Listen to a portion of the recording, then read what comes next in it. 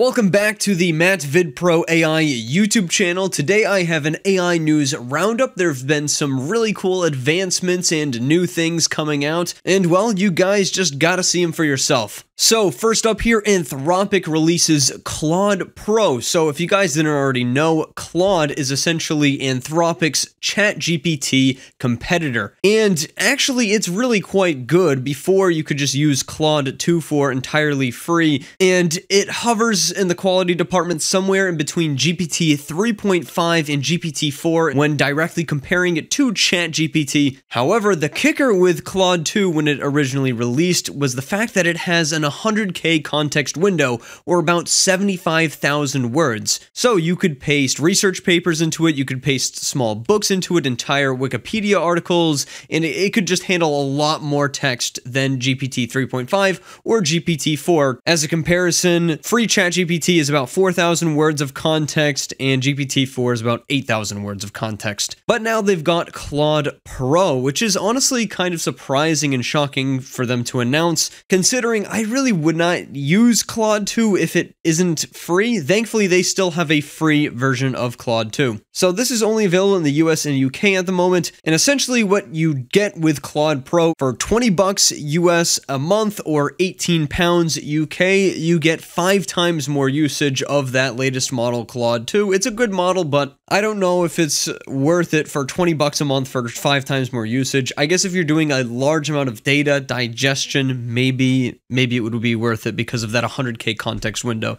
You're also getting priority access to Claude AI during high traffic periods, something you also get with ChatGPT Plus, and early access to new features. So, does this mean that we're getting Claude plugins in the future?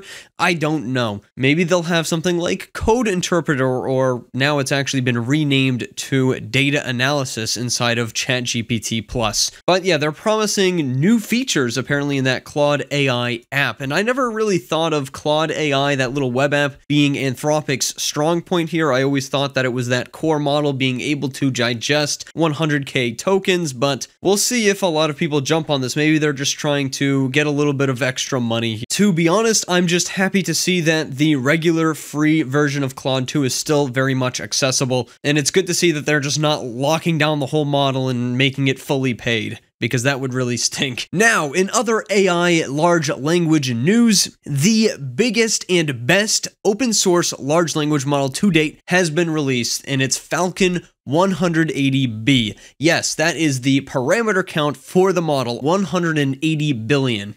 Let's put that in perspective real quick. GPT 3.5, which is the base model, not the pro version of ChatGPT, is about 175 billion parameters. So this model tops out at about the same size as GPT 3.5, and it's fully open source, which is awesome. This means that you can modify the model and redistribute it and make changes to it, whereas GPT 3.5 is locked down, developers can't do anything with it, really. As you can see, Matt Shumer talks about this on Twitter. Falcon 180B has been released, trained on four times the compute of Llama 2 70B, which is the previous record holder for the best open source AI large language model to date, and the quality of Falcon 180B sits in between GPT 3.5 and GPT 4. So this thing can be expected to be about as good as Claude 2, which is really awesome. However, you know, varying degrees of quality here. You might get some answers that are way better than GPT 3.5 or way worse than GPT 3.5. And same kind of goes with GPT 4, although I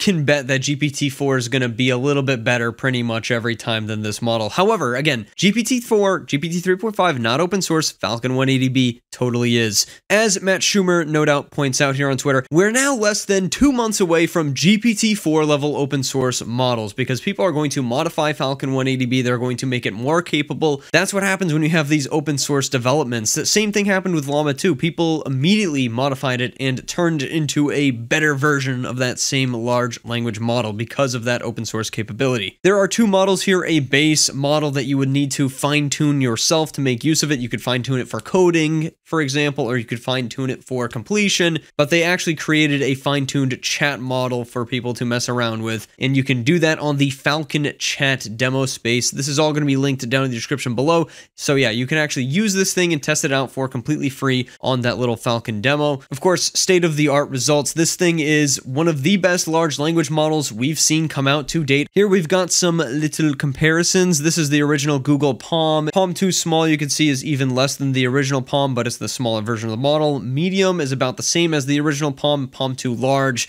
is the best model in this test at a little over 80%. And Falcon 180B is at about 80%, so it's pretty much as good as Palm 2. In comparison to the openly released pre-trained large language models, Falcon takes the cake as the best one on the current leaderboards, getting a slightly better score than Llama 2 with quite a lot more parameters interestingly enough and a lot more pre-training. So under the hood, Llama 2 might be a little bit more efficient. Again, Llama 2 is developed by Meta AI and they've got plenty of resources. One limitation with this demo is that it's only a thousand words and then you have to clear it and reset it. So it's not exactly useful like ChatGPT, for example. This is kind of just a small demo, but you could, in theory, run this at home. And I'm actually going to show you a really cool example of it running at home. Keep in mind, this is about as good as GPT 3.5 or Google's Palm, and here we can see it's casually running on a Mac M2 Ultra. This is crazy. Just running on a little Mac, a whole GPT 3.5. Typically, these language models have to run on GPU servers, but here it is on a Mac. So thanks to Georgi over here for showing this off. Some catches here though, it is uh, about 100 gigabytes disk size, but the generation speed honestly seems to be pretty quick for this. The TLDR, or the main point about this whole open source large language model thing, though, is that big companies, OpenAI, Google, Microsoft, they're kind of in trouble when it comes to AI development they are definitely making huge strides and still creating the best models we see to date, but not for long. The open source community is really taking things by storm and elevating their game better and better. They're actually evolving faster than the main leaders in the technology that we see today. At some point in the future, we can expect open source to kind of dominate the AI landscape, I think, in a pretty huge way, which is great because everyone is going to get access to AI that is not really controlled by a private corporation or something like that. It's all going to be free and open to download and use and improve lives with, which is really what we want to see AI do, right? We want to see AI improve the lives of the people that get access to it. The thing with open source AI models is that uh, safety is always a concern because anyone can download these things and modify them for their own purposes. To prevent this, the creators of Falcon 180B have made it quite limited. So if you want to host this thing on a website, for example, you have to go through Falcon in terms of getting approval to actually do that. It's not like you have to use their own API or anything, but you know, if you're going to modify it, if you're going to host it yourself, you need to essentially to go get their approval first and you have to follow their terms of use. So it's a, a kind of a limited license, but it's still open source. And I really think that they're doing that primarily for safety concerns because it's a pretty powerful model. In other news, it looks like pretty soon you might be able to watch any content in any language in the original voice and with perfect lip syncing. This is insane technology. Sorry if I'm butchering this name, but Joshua Xu here on Twitter, founder at HeyGen Official, which is actually a company I have worked with before to do sponsored content. They are leaders in terms of AI avatars for business. They've been working on a new AI feature to help creators and businesses translate their videos as simply as possible. Three steps upload a video, choose your language, submit. Don't be surprised if at some point in the future you see an advertisement for this technology on my channel because this is amazing stuff. They show off some examples here MKBHD, famous tech YouTuber, Elon Musk, no words needed. Casey Neistat, another famous YouTuber, and then Emma Chamberlain, yet another famous YouTuber. The crazy part about this is the fact that it's a perfect voice clone in another language that's not the original language they're speaking, and the lip syncing is perfect. It, it is phenomenal. Just take a look for yourself. Muchos datos y encontrar patrones que los humanos no podrían, como detectar en seulement un morceau de crâne, le remplacer et placer le dispositif neural. Grande quantità di vino, mi capisci bene, vero? Intendo dire che ho bevuto tanto. तरह है अगर मुझे इशारा करना हो तो मैं यहाँ देख सकता हूँ या देखना और अनुमान And I know it's just a short little demo, nothing too long, only 18 seconds, but that 18 seconds is showing a lot. We've got four different voices. They're all cloned fairly well. It's not the 11 Labs level of voice cloning that you typically see, but the lip syncing is really the most impressive part. It's just the raw video clip. They don't have to do any specialization or anything like that. They're replacing the mouth, the same exact mouth of the original user, with a fully lip synced version in a separate language. Like you could watch this content as if it was spoken and produced in your own native language and making it more accessible across the whole world. I love stuff like this. The crazy part is it translates the original video in minutes, it does fully accurate lip syncs, and matches the voice clones. This is something that if you make an account with HeyGen, you can just use and try out right now. Jon Finger, which is a fantastic AI account, by the way, I would suggest following him on Twitter as well as me. I always repost great stuff on Twitter.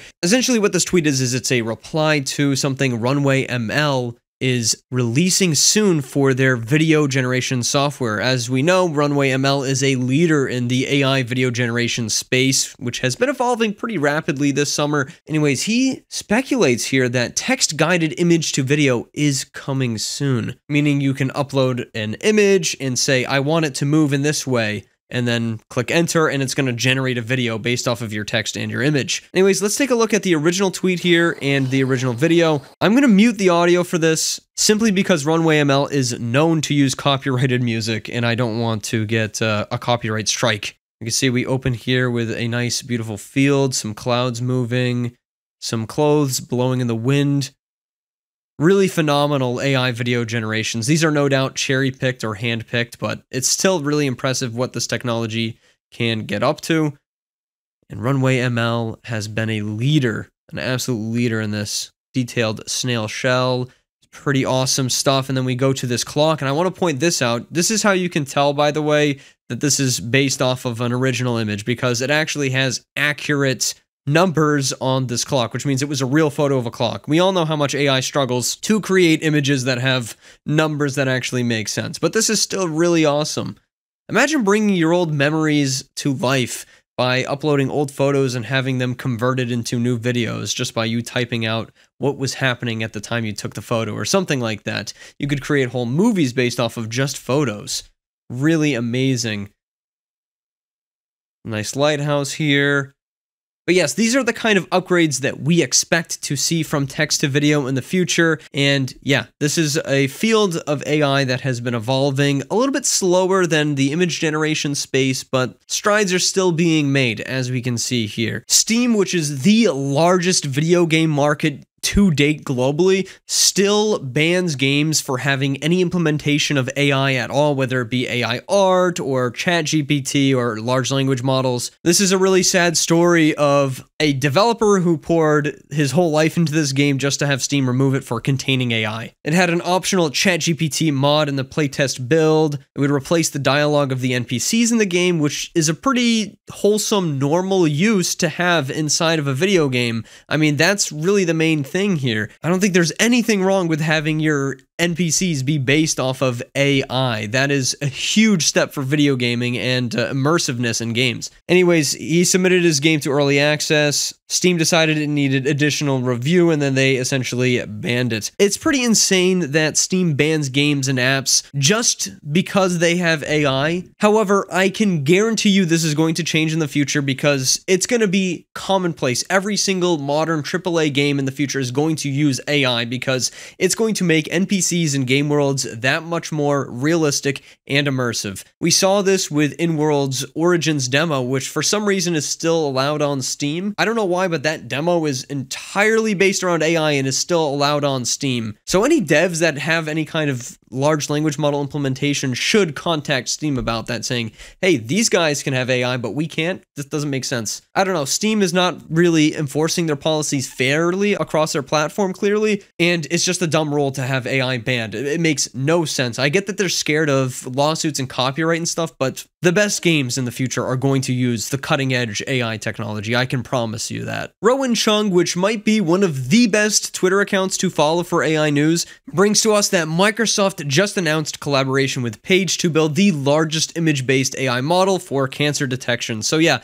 if you guys didn't know, AI is definitely being developed for the health sector and it does amazing things. The model, for example, is training on an unprecedented volume of data, digesting billions of images to identify both common and rare cancers. That company Paige already owns AI that assists pathologists in detecting breast, colon, and prostate cancers. And this initiative just basically aims to boost speed and accuracy for overloaded medical staff. That is a huge problem in the healthcare industry. So it's nice to see that they're trying to alleviate some of that. And they want to emphasize here that this is a tool for doctors, not a replacement. I can't agree with that enough. I think that these companies are also smart enough to know that AI is not even close to being able to replace what a doctor can do. We say it all the time, but AI is a game changer. It's going to change everything about your life. That's essentially uh, a little rundown of what's going on in the world of AI. I can't cover everything, so if you truly want to stay up to date and see everything, I suggest you follow me on Twitter and join the Discord server. Really, the Discord server is amazing. We, we get new stuff in there all the time. It's just the best. If you're a regular viewer, especially if you're making it to the end of the video, please just subscribe if you aren't already. It means the world to me, helps the channel out a lot, and it's completely free for you to do. So I would greatly appreciate it. Thank you so much for watching. I'll see you in the next video, and goodbye.